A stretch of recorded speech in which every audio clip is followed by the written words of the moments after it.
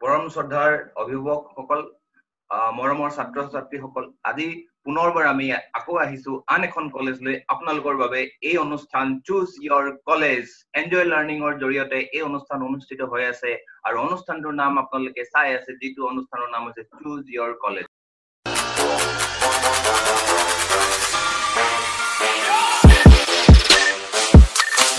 আজি অনুষ্ঠানৰ জৰিয়তে আপোনালোকে বিভিন্ন কলেজ সম্পৰ্কে নিজৰ জিলাতে থকা কলেজ সম্পৰ্কে আপোনালোকে জানিব পাৰিব। আৰু সেই কলেজসমূহ জনাৰ পিছত আপোনালোকে এটা আপোনালোকৰ মনৰ পচন্দৰ এখন কলেজ আপোনালোকে নিৰ্বাচন কৰিব পাৰিব। এতিয়া যিহেতু মেট্ৰিকৰ ফলাফল ইতিমধ্যে ওলাই গৈছে তাৰ পিছত আমি পৰৱৰ্তী কাৰ্যসূচী আগবঢ়াই নিবৰ কাৰণে শিক্ষাৰ যি যাত্ৰা অব্যাহত ৰাখিবৰ কাৰণে আমাক এখন জুনিয়ৰ কলেজ বা হায়াৰ ছেকেণ্ডেৰী এখন আমাক প্ৰয়োজন হয় চিনিয়ৰ ছেকেণ্ডেৰী স্কুল এখন আমাক প্ৰয়োজন হয়। তেনেস্থলত আপোনালোকক ঘৰতে থাকি এই সুবিধাখিনি দিবৰ বাবে এনজয় লাৰ্ণিঙৰ তৰফৰ পৰা মই দম্বিধৰতে আপোনালোকক পুনৰবাৰ স্বাগতম জনাই আজি মোৰ মাজত আছে দিখৌবেলি চিনিয়ৰ ছেকেণ্ডেৰী স্কুলৰ প্ৰতিষ্ঠাপক মাধৱ গগৈ ডাঙৰীয়া তেখেতক আমি স্বাগতম জনাইছো। নমস্কাৰ মাধৱ গগৈ ডাঙৰীয়া। হয়। নমস্কাৰ। আপোনাৰ পৰা মই প্ৰথমে জানিব বিচাৰিছো আপোনালোকৰ কলেজৰ প্ৰতিষ্ঠা কালৰে পৰা আজিৰ তাৰিখলৈকে আপোনালোকৰ কেনেধৰণৰ কাৰ্যসূচী আপোনালোকে আগবঢ়াই নিছে আৰু কেতিয়া প্ৰতিষ্ঠা কৰিছিলে এই কথাখিনি অলপ জনাব। মই ডিব্ৰুগড় একাডেমীখন দুহেজাৰ ওঠৰ চনত এষ্টাব্লিছ কৰা হৈছিলে আৰু এইবাৰ ফাইনেল গৈছে আমাৰ আপোনাৰ তাৰ আগতে আপুনি ক'ত কিবা কৰিছিলে নেকি? মই দুহেজাৰ বাৰ চনৰ বাৰ চনৰ পৰাই এখন জুনিয়ৰ কলেজৰ লগত ওতঃপ্ৰোত জড়িত আছিলো। তাত মই সম্পূৰ্ণ প্ৰশাসনিক দিশটো চাইছিলো। তেতিয়াই তেতিয়াৰ পৰা জড়িত হৈ আজিলৈকে এটা নিজৰ প্ৰচেষ্টাত আৰু দুগৰাকী বাইদেউৰ সহযোগত আমি প্ৰায় দুহেজাৰ ওঠৰ সোতৰ চনৰ পৰা এম কৰিছিলো। দুহেজাৰ সোতৰ চনৰ পৰা আৰম্ভণি কৰি ওঠৰ চনত আমি প্ৰথম আৰম্ভণি যাত্ৰা খোজ পেলাইছিলো হয়। আপুনি যিহেতু প্ৰশাসনৰ দায়িত্বত আপুনি আছিলে কেইবাখন কলেজৰ লগত। বিশেষভাৱে আপুনি কলে যে এখন কলেজৰ লগত জড়িত হৈ আছিলে। আপুনি তাৰ অভিজ্ঞতাৰ ফালৰ পৰা আপুনি কওকচোন যে কি কথাই আপোনাৰ মনলৈ ক্ৰিয়া কৰিলে যে আপুনি এখন জুনিয়ৰ কলেজ বা চিনিয়ৰ ছেকেণ্ডেৰী স্কুল আপুনি স্থাপন কৰিব লাগিব কি কথাই আপোনাক এই কথা এই অনুপ্ৰেৰণা যোগালে? আমি দুহেজাৰ বাৰ চনৰ পৰা যেতিয়া আহো আমাৰ যেতিয়া এডমিশ্যন লবলৈ আহে এডমিশ্যন লবলৈ আহোঁতে সদায় অভিভাৱকসকল বা ষ্টুডেণ্টবিলাক ছাত্ৰীসকলে কয় যে জুনিয়ৰ কলেজ পঢ়া বুলি ক'লে বহুত পইচা খৰচ হ'ব। মাহেকীয়া পইচা ল'ব এডমিশ্যন ল'ব ড্ৰেছ পোছাকৰ পৰা ল'ব আৰু পাৰ্চেণ্টেজৰ যিটো মাৰ্কছ এটা হেভি মাৰ্কছ লাগিব। গতিকে সেইটো ভাবি ভাবিছিল। এটা হিউজ এমাউণ্ট খৰচ হ'ব বুলি ভাবিছিলে। কিন্তু তেওঁলোকৰ যেতিয়া সেই ধাৰণাবিলাক মই পাইছিলো সঘনাই পাই থকা হয় দুহেজাৰ বাৰ চনৰ পৰা মই দুহেজাৰ সোতৰ চনলৈকে এই বস্তুটো পাই আছিলো। তাৰপিছত তেওঁ মোৰ মনলৈ আহিলে যে আমি গাঁৱৰ কিছুমান মধ্যবিত্ত নিম্নবিত্ত শ্ৰেণীসকলক আমি কেনেদৰে এই এই ধাৰণাটো যে পঢ়িলে যে মাৰ্কছ ধেৰ লাগিব পইচা পাতি ধেৰ লাগিব। যিটো ভাবিছিলে সেই ধাৰণাটো নাইকিয়া কৰিবৰ কাৰণে মই দুহেজাৰ সোতৰ চনৰ পৰা এইম কৰিছিলো যে এখন জুনিয়ৰ কলেজ এখন আৰম্ভণি এখন কৰিম। য'ত নেকি নিম্ন আৰু মধ্যবিত্ত শ্ৰেণীবিলাকো তাৰমানে এটা খোলা মনে আহি পিনি এখন কলেজত পাঠদান কৰিব পাৰে। হয় বৰ সুন্দৰ কথা। আপোনাৰ নিজৰ অভিজ্ঞতাৰ ফালৰ পৰা আপুনি দেখা পাইছে যে আমাৰ সমাজৰ বহু ছাত্ৰ ছাত্ৰী আছে যিসকল মধ্যবিত্তৰ নিম্ন মধ্যবিত্তৰ ছাত্ৰ। আৰু তেখেতলোকক অৰ্থনৈতিকভাৱে বৰ সচ্ছল নোহোৱা হেতুকে তেওঁলোকে এখন ধৰক আজিৰ তাৰিখত যিটো ধাৰণা মানুহৰ জুনিয়ৰ কলেজ বুলি ক'লে পইচা পাতি যথেষ্ট খৰচ হয় তেনে এটা ধাৰণা আপুনি আঁতৰাই ৰাখিবৰ কাৰণে এখন পৰিৱেশ সৃষ্টি কৰিবৰ কাৰণে এই ছাত্ৰ ছাত্ৰীসকলেও যাতে এটা গুণগত মানদণ্ডৰ শিক্ষা পাই কম খৰচতে এই কথাখিনি লক্ষ্য ৰাখি আপুনি এখন নতুনকৈ চিনিয়ৰ ছেকেণ্ডেৰী স্কুল বা জুনিয়ৰ কলেজ আপুনি স্থাপন কৰাৰ কথা ভাবিলে সেয়া সঁচাকৈ শলাগ ল'বলগীয়া আৰু আপোনাৰ যি আদৰ্শ আমি সকলোৱে এই কথা মনত ৰাখিম। ৰাইজে হয়তো বুজি পাইছে আপোনাৰ মনৰ কথা আজিৰ তাৰিখত। লগতে মই আপোনাৰ পৰা জানিব বিচাৰিম আপুনি এই যে আপোনাৰ নামটো ৰাখিলে Dikhow Valley Junior College Dikhow Valley নামটো ৰখাৰ মূলতে আপোনাৰ এই কাৰণটো কি বাৰু? আমি অকমান জানিব পাৰো আমাৰ যেতিয়া দুহেজাৰ সোতৰ চনত সোতৰ চনৰ পৰা আমি যেতিয়া কলেজখন আৰম্ভণি কৰিব লৈছিলো আমোদজনতে আমাৰ এটা মনত আছিলে যে কলেজখনৰ পৰা চিনিয়ৰ ছেকেণ্ডেৰীখনৰ নামটো কি দিয়া হ'ব তেতিয়া আমি দুজনমান আলোচনা কৰি চালো তাৰপিছত ক'লো যে আমাৰ শিৱসাগৰৰ শিৱসাগৰৰ মাজেৰে এখন নৈ বৈ গৈছে যে দিখৌ নৈ। যিখন দিখৌ নৈ নেকি অনৰ্গৰ পানীয়ে পানীয়ে কললৈকে গৈ আছে। গতিকে আমি দিখৌ নৈ এইকাৰণে আহিছো কাৰণ শিৱসাগৰৰ লাইফ লাইনৰ যিটো জীৱন যাত্ৰাৰ যিটো প্ৰক্ৰিয়া বা দিখৌ নৈখনে যেনেকৈ আমাৰ নৈপৰীয়া সমাজখনৰ মানুহখিনিক দুখীয়া বা দুখীয়া মানুহখিনি কিন্তু নৈ পোৱা মানুহখিনি দুখীয়া মানুহখিনিয়ে থাকে। সেই দুখীয়া মানুহখিনি যি ধৰণে জীৱন জীৱন জীৱিকাৰ যিটো পথ দেখুৱাইছে নৈখনৰ আৰু গতিকে আমাৰ কি আছে আমি সেইটো ধাৰণা চিন্তা কৰিছো যে আমি দিখৌ নৈখন যেনেকৈ গতিধাৰাত গৈ আছে সকলো দুখীয়া নিম্ন মধ্যবিত্ত মানুহখিনি যেনেকে মনৰ যিটো খেতি বাতি বা যিটো উপাৰ্জনৰ পথ দেখুৱাই আছে তো তেওঁলোকৰ যিটো পৰিৱেশটো এটা ধুনীয়া পৰিৱেশ সৃষ্টি কৰি আছে গতিকে আমি সেইটো চিন্তা কৰিছো যে দিখৌবিলি নামটো এইকাৰণেই দিয়া যাওক যিখনৰ দিখৌ নৈখনে যিটো মানুহক যিটো জীৱন যাত্ৰাৰ যিটো প্ৰক্ৰিয়া আৰম্ভ কৰিছে গতিকে আমাৰ দিখৌবিলি একাডেমিও যাতে সেই ব্যৱস্থাটো কৰি দিব পাৰে তাৰ ব্যৱস্থাৰ কাৰণে আমি দিখৌবিলি নামটো ৰাখিছো। সুন্দৰ সুন্দৰ অৰ্থাৎ আপুনি প্ৰকৃতিৰ পৰাই আপুনি জ্ঞান লাভ কৰিবলৈ চেষ্টা কৰিছে আৰু প্ৰকৃতিয়ে যি জ্ঞান আমাক দিছে সেই জ্ঞানখিনিকে আপুনি ছাত্ৰ ছাত্ৰীৰ মাজলৈ আগবঢ়াই নিয়াৰ নিমিত্তে আপুনি দিখৌ নামটো ৰাখিলে এই কাৰণে যিহেতু দিখৌ নদীখন শিৱসাগৰ মাজমজিয়াদি গৈ শিৱসাগৰৰ জনজীৱনত এক এটা আচুৰ পেলাইছে বা তেখেতলোকৰ জীৱন যাত্ৰাত। গতি প্ৰদান কৰিছে তেনেকৈ আপুনি ভাবিছে যে আপোনাৰ। এই যে কনিষ্ঠ মহাবিদ্যালয়ৰ নামটো ৰাখি আপুনি এটা মেছেজ কনভে কৰিব বিচাৰিছে বা ছাত্ৰ ছাত্ৰীসকললৈ এই জ্ঞানটো দিব বিচাৰিছে যে এই শিক্ষাৰ জৰিয়তে তেখেতলোকে নিজৰ ভৱিষ্যত জীৱনৰো গতি যাতে প্ৰদান কৰিব পাৰে। আপোনালোকৰ এই কনিষ্ঠ মহাবিদ্যালয়ৰ ছাত্ৰ ছাত্ৰীসকলে এই জ্ঞান উপলব্ধ হৈ পেলাই যাতে নিজৰ জীৱনত এজন আহ গতি প্ৰদান কৰি পেলাই নিজৰ জীৱনত এজন সফল ব্যক্তি হ'ব পাৰে। সমাজলৈ তেখেতলোকে যাতে নদীখনে যেনেকৈ অৱদান আগবঢ়াইছে এই ছাত্ৰ ছাত্ৰীসকলেও যাতে তেনেকৈ অৱদান আগবঢ়াব পাৰে। এই কথালৈ লক্ষ্য ৰাখি আপোনালোকে এই কনিষ্ঠ মহাবিদ্যালয়ৰ নাম আপোনালোকে নামটো দিছিল দিখৌ ভেলী নাম দিছে। সুন্দৰ সুন্দৰ খুব ভাল লাগিছে কথাখিনি জানি। এতিয়া মই আপোনাৰ পৰা বিশেষ এটা কথা জানিব বিচাৰিছো। আপোনালোকৰ কেইটা শাখা আছে? আপোনালোকৰ কলা আমি অকল মানে মোৰ ধ্যান ধাৰণা মই বিশেষকৈ কলা শাখাটো আৰম্ভ কৰিছো দিশবিলি একাডেমীত সেইকাৰণে দিছো কলা শাখাটো আৰম্ভণি কৰিছো। কলা শাখাটোকে ভাল ধৰণে আমি আগবঢ়াই নিবৰ কাৰণে চেষ্টা কৰোঁ। আপুনি নিজে এইটো কথা প্ৰতিপন্ন কৰিব বিচাৰিছে যাৰ যিটো ক্ষেত্ৰত দখল আছে আৰু সেই ধৰণে সেই দখল থকা ক্ষেত্ৰখনতে বিশেষভাৱে আগবাঢ়ি যাব লাগে আচলতে। আৰু এইটোৰ ধৰ জৰিয়তে ছাত্ৰ ছাত্ৰীসকলে মেছেজ পাব যে যদি ছাত্ৰ ছাত্ৰীসকলে এটা জীৱনত সফল ব্যক্তি হ'ব বিচাৰে তেতিয়াহ'লে তেখেতলোকৰ নিজৰ যিটো বিষয় ওপৰত দখল থাকে সেই দখল থকা বিষয়টোৰ স্পেচিয়েলাইজ হ'বলৈ চেষ্টা কৰিব লাগে। আৰু তাৰে এটা আপুনি জ্বলন্ত নিদৰ্শন। দাঙি ধৰিছে যে আপুনি প্ৰথমে সেইকাৰণে কলা শাখাটোৱে আপোনালোকে আৰম্ভ কৰিছে আৰু কলা শাখাত আপুনি এটা। গুণদণ্ড গুণগত মানদণ্ডৰ শিক্ষা দিবৰ কাৰণে আপুনি চেষ্টা কৰিব আৰু প্ৰতিশ্ৰুতিবদ্ধ। হয়নে? হয়। এইখিনিতে। আৰু আপোনাৰ পৰা এটা কথা জানিব বিচাৰিছো। যে আপুনি শিৱসাগৰতো কেইবাখনো আপোনাৰ কনিষ্ঠ মহাবিদ্যালয় আছে তাৰ লগতে সংগতি। ৰাখি আপুনি আৰু এখন কলেজৰ আপুনি সংযোজন কৰিলে এতিয়া আপোনাক মই যদি। জানিব বিচাৰো বা ছাত্ৰ ছাত্ৰীসকলে যদি জানিব বিচাৰে বা আপোনাৰ অভিভাৱকসকলে যদি জানিব বিচাৰে যে আপোনাৰ দিখৌ ভেলী আহ, কলেজৰ কি বিশেষত্ব আছে যে কলা শাখাত ছাত্ৰ ছাত্ৰীসকলে আপোনাৰ ওচৰলৈ আহিব পাৰে। এনেকুৱা মোক আপুনি তিনিটা কথা কওকচোন যি তিনিটা কথাৰ কাৰণে হয়তো দিখৌ ভেলী জুনিয়ৰ কলেজখনক ছাত্ৰ ছাত্ৰীসকলে বা অভিভাৱকসকলে আপোনাৰ নিৰ্বাচন কৰিব তেখেতলোকৰ ভৱিষ্যত জীৱন যাত্ৰা অব্যাহত ৰাখিবৰ কাৰণে বা জ্ঞানৰ যাত্ৰা অব্যাহত ৰাখিবৰ কাৰণে। দিশভেলী একাডেমি গীটাৰ হেৰি আহ, দিশভেলী একাডেমিত নিগত গুণকেইটা হৈছে তাত কম মূল্যত কম মূল্যতে ভাল শিক্ষাৰ যিটো এডমিশ্যন ফিজটো খুব কম মাহেকীয়া ফিজটো খুব কম। গতিকে তাৰ কাৰণে আমি সকলোৱে যাতে সকলো নিম্ন নিম্ন শ্ৰেণীৰ মধ্যবিত্ত শ্ৰেণীৰে পঢ়িব পাৰে তাৰ এটা ব্যৱস্থা আছে। দুই নম্বৰ কথাটো হৈছে তাত আমাৰ ব্যক্তিগত টিউচন প্ৰয়োজন নাই। ইয়াৰ পৰা আমাৰ কলেজৰ পৰা গৈ কিনে আমি প্ৰায় দেখিছো কিছুমান স্কুল বিলাকৰ কলেজ বিলাকৰ যে কলেজৰ টিউচন কৰাৰ পাছত টিউচন কৰা পঢ়ি যোৱাৰ পাছত কলেজত যেতিয়া ক্লাছ হৈ যাব ক্লাছ হৈ যোৱাৰ পাছত আকৌ টিউচন যাবলগীয়া হয়। গতিকে। আমাৰ নিম্ন আৰু মধ্যবিত্ত শ্ৰেণী বিলাকে এটা ডাবুল খৰচ হয়। এটা গতিকে এটা অৰ্থনৈতিক এটা বোজা সৃষ্টি হয়। কাৰণ বোলে মাহেকীয়া পইচাও দিব লাগিব আৰু এইফালে এডমিশ্যনৰ পইচাও দিব লাগিব আৰু এতিয়া কি হৈছে তেওঁলোকে টিউচন কৰিব লাগিব। গতিকে সেই ব্যৱস্থাটো আমাৰ কলেজৰ পৰা নাই। গতিকে যে ব্যক্তিগত টিউচন নালাগে। আমাৰ কলেজতে ভাল ধৰণে প্ৰতিখিনি জ্ঞান অৰ্জন কৰি যাব পাৰিব। আৰু এটা হৈছে আমাৰ আছে আমাৰ ইয়াত বিশেষকৈ আমি এইটো চাওঁ যে থাৰ্ড ডিভিজন যিখিনি বা ছেকেণ্ড যিবিলাকে ভাল ধৰণে পৰীক্ষা দিছিলে কিন্তু তেওঁলোকে গুণগত মানদণ্ড হিচাপে তেওঁলোকে ভাল নম্বৰ নাপালে। গতিকে সেই নম্বৰ পোৱা ল'ৰা-ছোৱালীক আমি বেছি অগ্ৰাধিকাৰ দিয়া হয় যাতে অহা অনাগত দিনত যিটো হাই ছেকেণ্ডেৰী পৰীক্ষা হ'ব এই পৰীক্ষাবিলাকত ভাল ৰিজাল্ট এটা লৈ তেওঁলোকে আগবাঢ়ি যাব পাৰে সেইটো এটা আমাৰ গুণ বুলি ভাবি ভাবিছো। হয় হয়।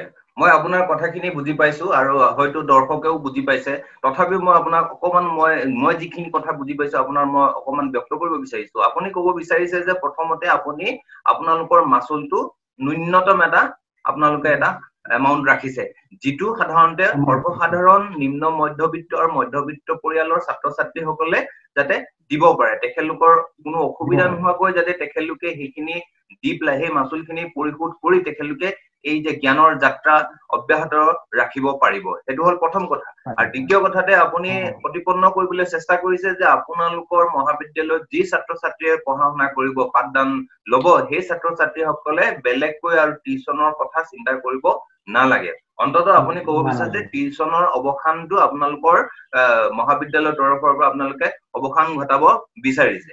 আৰু তৃতীয়তে আপুনি কব বিচাৰিছে যিহেতু আপোনাৰ মহাবিদ্যালয়ত কব বিচাৰিছে যিসকল ছাত্ৰ ছাত্ৰী বিভিন্ন কনিষ্ঠ মহাবিদ্যালয় বা উচ্চতৰ মাধ্যমিক বিদ্যালয়ত যেতিয়া তেখেতলোকে নামভৰ্তি কৰিবলৈ যায় বিভিন্ন ধৰণৰ কাট অফ মাৰ্ক থাকে।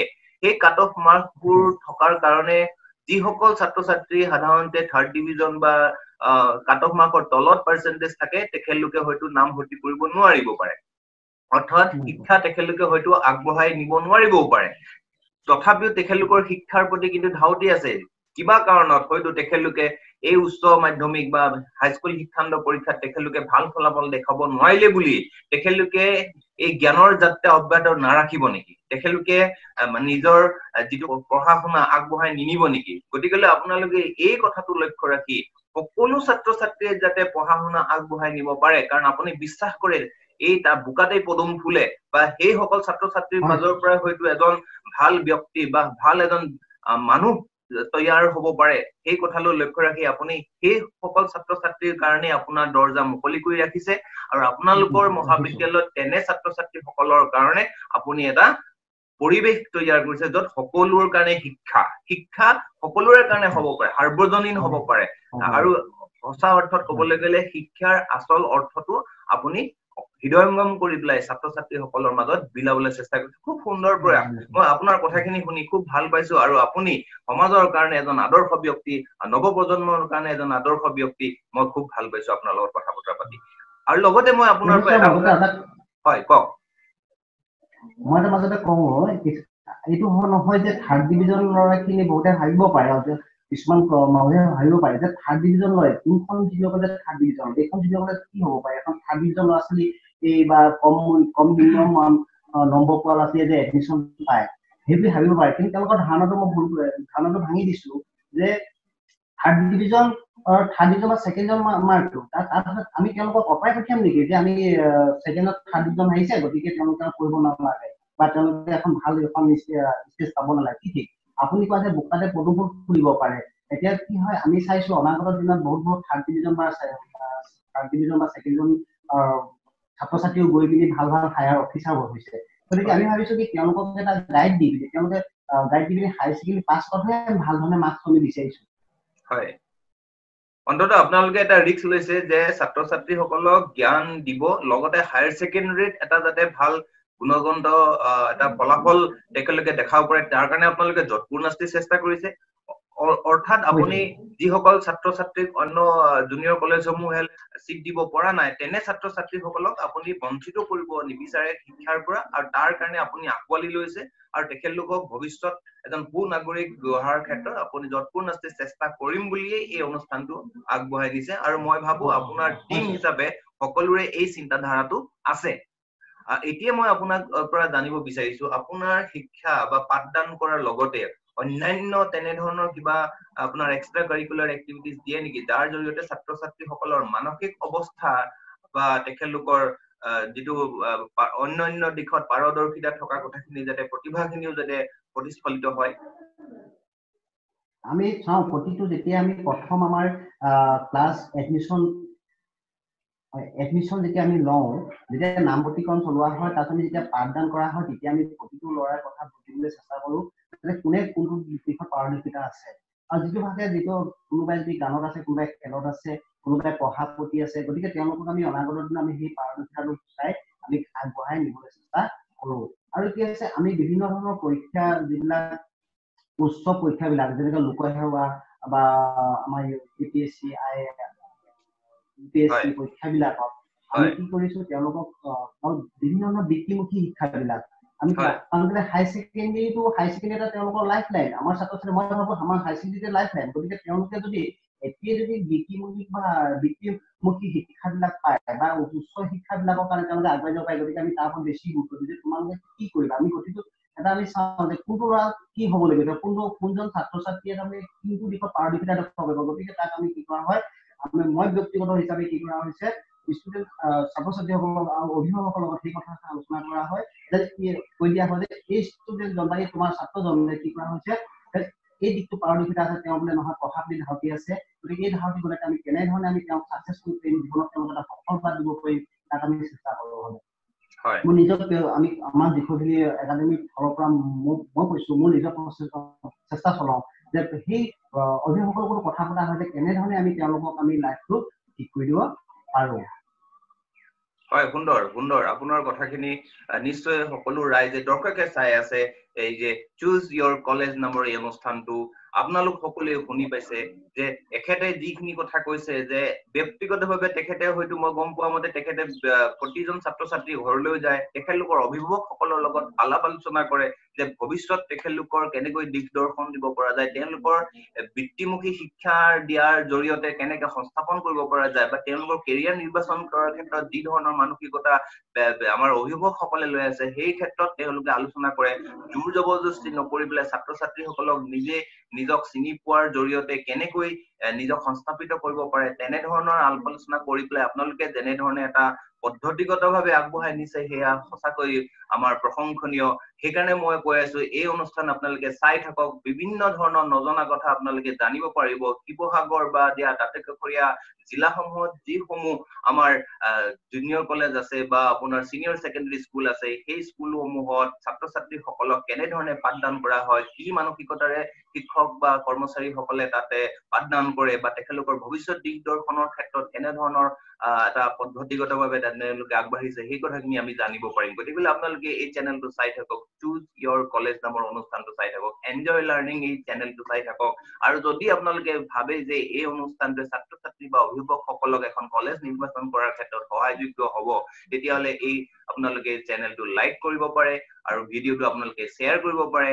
আৰু পৰৱৰ্তী সময়তো আমি বিভিন্ন ধৰণৰ কলেজৰ লগত কথা বতৰা পাতিম। তেতিয়াও আপোনালোকৰ মাজলৈ যদি কথাখিনি যায় তেতিয়াহ'লে আপোনালোকে এই চেনেলটো ছাবস্ক্ৰাইব কৰি ৰাখিব পাৰে। এতিয়া মই আহো আপোনাৰ শেষৰ ফাললৈ যে আপুনি ইতিমধ্যেই কৈছে যে ছাত্ৰ ছাত্ৰীসকলৰ প্ৰতিভা বিকাশৰ ক্ষেত্ৰত আপোনালোকে যথেষ্ট চিন্তা চৰ্চা কৰে। ব্যক্তিগতভাৱে তেওঁলোকৰ আপোনালোকে কথা বতৰা পাতে। দুখীয়া ছাত্ৰ ছাত্ৰী বিশেষভাৱে মই কৈ আছো আপুনি ইতিমধ্যেই মধ্যবিত্ত নিম্ন মধ্যবিত্ত ছাত্ৰ ছাত্ৰীসকলৰ কথা কৈছে কিন্তু তাৰ মাজতো কিছু অংশ ছাত্ৰ ছাত্ৰী এনেকুৱা থাকে একেবাৰে মাচুল দিবই নোৱাৰে। কিন্তু মেধা সম্পন্নও হ'ব পাৰে বা মেধা সম্পন্ন নহবও পাৰে বা হাইস্কুল শিক্ষান্ত পৰীক্ষাত বৰ ভাল ফলাফল দেখাব নোৱাৰিবও পাৰে। কিন্তু পঢ়াৰ প্ৰতি এটা সাংঘাতিক ধাউতি আছে হয়তো অলপ সুযোগ পালে হয়তো ভাল কিবা এটা কৰিবগৈও পাৰে তেনে ছাত্ৰ ছাত্ৰীসকলৰ কাৰণে। বিশেষ আপোনালোকৰ কিবা পেকেজ আছে নেকি যে যিসকল অৰ্থনৈতিকভাৱে একেবাৰে জুৰুলা কিন্তু পঢ়াৰ প্ৰতি খুব ধাউতি আছে কিন্তু পিতৃ মাতৃয়ে হয়তো তেওঁলোকক পঢ়াবলৈ আৰু নোৱাৰিবও পাৰে। তেনে স্থলত তেনে ছাত্ৰ ছাত্ৰীসকলৰ কাৰণে আপোনালোকৰ কি ধৰণৰ ধৰক ষ্ট্ৰেটেজি আছে? আমাৰ লিখনিৰ এটা লক্ষ্য আছে যে পঢ়াৰ নম্বৰটোৰ ওপৰত বেছ নহয়। আমাৰ নম্বৰটোৰ ওপৰত আমি ধ্যান দিয়া নহয়। আমি ল'ৰাটো পঢ়িব নে নপঢ়ে? সি লাগে থাৰ্ড ডিভিজনে সি নাইন পাৰ্চেণ্টে থাকক। যদি আমি যদি পঢ়িবলৈ মন থকা ষ্টুডেণ্ট হয় তাৰ যে অৰ্থনৈতিক খুব পইচা পাতি নাই বা অৰ্থনৈতিক খুব একেবাৰে নিম্ন নিম্নমানৰ গতিকে আমি সেইবিলাকক কি কৰা হৈছে সেইবিলাক ল'ৰা ছোৱালী বিলাকক ছাত্ৰ ছাত্ৰী ছাত্ৰ ছাত্ৰী বিলাকক কি কৰা হয় লৈ অহা হয়। নহ'লে লৈ অহা আমি লৈ কাৰণ কেলে আমি পঢ়িবলৈ ইচ্ছা আছেনে নাই? আমি প্ৰথম প্ৰথম আমি চইচ কৰি লওঁ যে পঢ়িবলৈ মন আছেনে নাই। যদি পঢ়িবলৈ মন আছে তেতিয়াহ'লে আমি তেওঁলোকক আমি কি হয় আমাৰ কলেজলৈ আনি তেওঁলোকক সম্পূৰ্ণভাৱে আমি নিজৰ ব্যক্তিগতভাৱে তেওঁলোকৰ অভিভাৱকসকলক বা ল'ৰাৰ লগত পাতি ষ্টুডেণ্টৰ লগত ছাত্ৰ ছাত্ৰীসকলক পাতি তেওঁলোকক আমি পাঠদান ব্যৱস্থাৰ সুবিধা হয়। হয় হয়।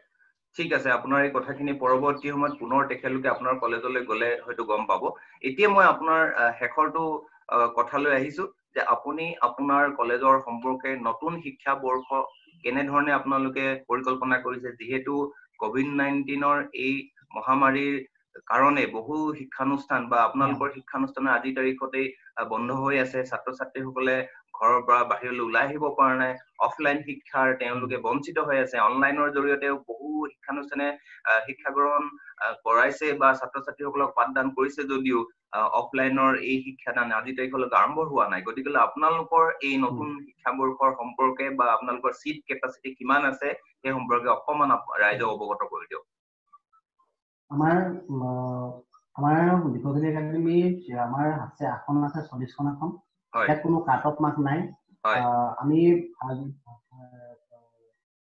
থাৰ্ড ডিভিজন বা নিম্নমানৰ নিম্ন নম্বৰ পৰা ছাত্ৰ ছাত্ৰী ছাত্ৰ ছাত্ৰীসকল হওক বা উচ্চ মানৰ ছাত্ৰ ছাত্ৰীসকলে উচ্চ নম্বৰ পোৱা ছাত্ৰ ছাত্ৰীসকলে হওক কিন্তু আমি চল্লিছটা চিটি ৰাখিছো ইয়াত কোনো আমি কাট অফ মাৰ্ক আমাৰ নাই। নাই। আৰু যিটো আমাৰ যে কভিড নাইণ্টিনৰ যিটো দুৰ্যোগ আছিলে এই দুৰ্যোগত আমাৰ ছেকেণ্ড ইয়াৰ যিটো আমি শিক্ষাবৰ্ষ আমি পাঠদান কৰিব পৰা নাই মোটামুটি পাঠদান কৰিব পৰা নাই। তেওঁলোক আমি অফলাইনত আমি ক্লাছ কৰি থকা হৈছিলে অনলাইনত ক্লাছ কৰি থকা হৈছিলে। কিন্তু আমাৰ কি হৈছে ছাত্ৰ ছাত্ৰীসকলৰ কিছুমানৰ কি হৈছে অনলাইন মোবাইল হ'লেও আমাৰ বিশেষকৈ মোক কলেজৰ কথা কৈছো মোৰ ষ্টুডেণ্ট আছে বাষষ্ঠিটা বাষষ্ঠিটা আমাৰ ছাত্ৰ ছাত্ৰী আছে। কিন্তু বাষষ্ঠিটাৰ ভিতৰত আমাৰ ফাৰ্ষ্ট ইয়াৰ আমাৰ আছে এইবাৰ এইবাৰ আমাৰ ফাৰ্ষ্ট ইয়াৰ যিখিনি আমি ছেকেণ্ড ইয়াৰ বুলি কৈছো সেইখিনি আছে মুঠতে চল্লিছটা ষ্টুডেণ্ট এই চল্লিছটা ষ্টুডেণ্টৰ ভিতৰত মোক ক'বলৈ হ'লে কি হয় কমেও দহজন মানুহৰ হাততে এণ্ড্ৰইড মোবাইল নাই। হয়। আমাৰ চল্লিছজন দহজন মানুহৰ এণ্ড্ৰইড মোবাইল নাই তেওঁলোকে সেইটো ব্যৱস্থাটো তেওঁলোকৰ নাই।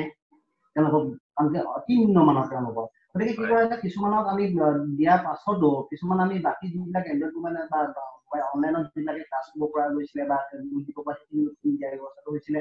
আৰু বাকী যিকেইজনক আমি দিব পৰা নাছিলো বা আমি লগত সংযোগ কৰিব পৰা নাছিলো তেওঁলোকক কি কৰা হৈছিলে মোৰ নিজৰ ব্যক্তিগত প্ৰচেষ্টাত কি কৰা হৈছিলে তেওঁলোকৰ যিখিনি আমাৰ পৰীক্ষা দি গৈছিলে আমাৰ যিখিনি ছেকেণ্ড অলৰেডি ফাইনেল দি গৈছে তেওঁলোকৰ পৰা সেই নোট বহি কিনি আনি তেওঁলোকক কি কৰা হৈছিলে ঘৰে ঘৰে গৈ তেওঁলোকক দি দিয়া হৈছিলে। কাৰণ এইটো কাৰণে দিয়া হৈছে কাৰণ তেওঁলোকো যাতে এণ্ড্ৰইড মোবাইলটো নাথাকি বুলি তেওঁলোকে যাতে পঢ়াৰ পৰা বঞ্চিত হ'ব নালাগে আমি সেইটো বস্তু আমি বিহুমিলি একাডেমীৰ পৰা আমি কৰি আছো খুব সুন্দৰ খুব সুন্দৰ পদক্ষেপ। হয়। চ' মাধৱ গগৈ ডাঙৰীয়া আপুনি আমাৰ মাজলৈ আহিলে আপোনাৰ ব্যস্ত সময়সূচীৰ মাজত আপুনি আপোনাৰ একাডেমীৰ বিষয়ে বা চিনিয়ৰ ছেকেণ্ডেৰী স্কুলখনৰ বিষয়ে আপোনালোকে ক'লে ৰাইজ অৱগত হৈছে ৰাইজে আপোনাৰ বিষয়ে আজি শুনিছে জানিছে বুজিছে আৰু পৰৱৰ্তী সময়ত এটা সিদ্ধান্ত ল'বৰ কাৰণে তেখেতলোকৰ এটা আইডিয়া এটা পাইছে মই ভাবো এই অনুষ্ঠানে তেখেতলোকক যথেষ্ট সহায় কৰিব। আজিলৈ মই আহো পুনৰ এখন নতুন কলেজ লৈ পেলাই পৰৱৰ্তী সময়ত আপোনালোক দৰ্শক ওচৰলৈ আমি আকৌ আহিম। তাৰে কামনাৰে প্ৰতিশ্ৰুতিৰে আজিলৈ মই বিদায় মাগিছো আৰু মাধৱ গগৈ ডাঙৰীয়া আপোনাকো পুনৰবাৰ ধন্যবাদ জ্ঞাপন কৰি আজি মোৰ এই অনুষ্ঠান ইমানতে মই সামৰণি মাৰিছো। ধন্যবাদ পুনৰ লগ পোৱাৰ প্ৰতিশ্ৰুতিৰে। ধন্যবাদ থেংক ইউ